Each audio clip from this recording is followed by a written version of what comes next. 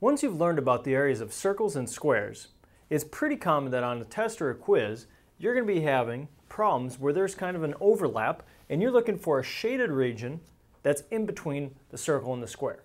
So here we have an inscribed circle where we've got four points of tangency and all we know is the radius. So we're going to do the general case here. If I asked you for the area of the shaded region. So in your mind you have to think, well, I'm going to be subtracting a couple things. And to find the area of the shaded region, first I'm going to find the area of the square.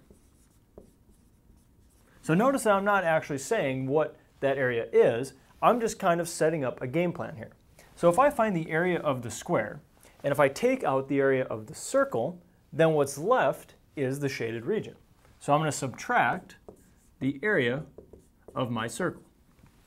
So it's always a good place to start off these problems where you have shaded regions with a general game plan. And then you can substitute in your formulas. Well, the area of the square, we said, is side squared, where the side of the square squared. The area of the circle is going to be pi times the radius squared. So what we have to ask ourselves is, how is S related to R? Well, if I drew in another radius here, you can see that that is going to be the distance of one side. So the side of this square is 2r. So instead of writing s, which is a general term, we can write that the side of the square must be 2 radii.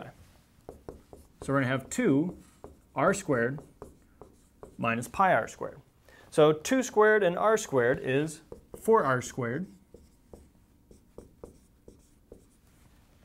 So the area of the shaded region is going to be 4 times your radius squared minus pi times your radius squared which could be rewritten if you factor out the r squared as r squared times 4 minus pi, where that's going to be a number that's going to be less than 1.